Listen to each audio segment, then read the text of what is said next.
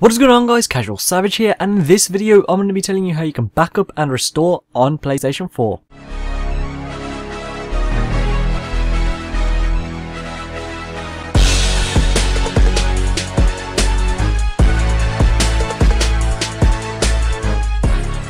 Now just before we get into this video, are there any limitations to using the backup and restore feature? Well, you can only restore your data to the original system that created the backup. You'll need a FAT32 or an exFAT formatted USB with plenty of free space. If you don't have enough room to backup everything, you can choose to not backup application data.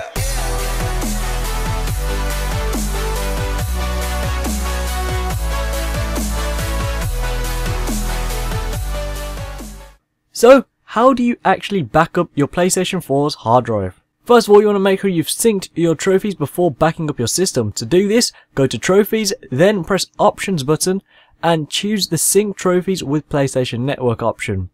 Then you'll need to insert the USB storage device that you plan on using for the backup into one of the PlayStation 4's system USB ports. From there go to settings, system, then backup and restore.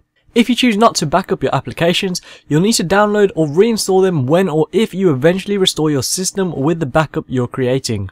Then onto the next screen, you can customize the name of the backup. Once you've done that, select backup. And finally, a progress bar will show the current status of the backup and you'll be able to cancel this at any time. Yeah.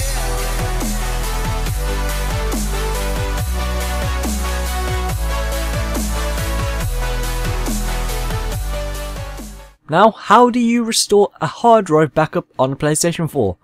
Well, first of all, go to Settings, System, Backup and Restore. From there, insert the USB storage device that contains your backup into one of the PlayStation 4's USB ports. Then choose the Restore PS4 option.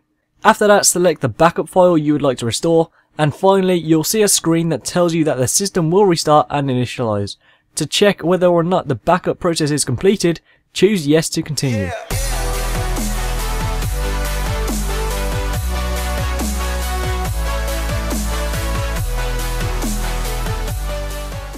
So there you have it, that is how you backup and restore on PlayStation 4. So hopefully this video has helped you, be sure to follow me on Twitter I'll keep you updated when I'm posting and what I'm posting. Also be sure to go ahead and check out my gaming channel where I'll post 3 to 4 times a week. And finally be sure to add me on Snapchat or just see what I do throughout my day. See you, Casual Savage here, thank you so much for watching. Please subscribe, rate, and peace.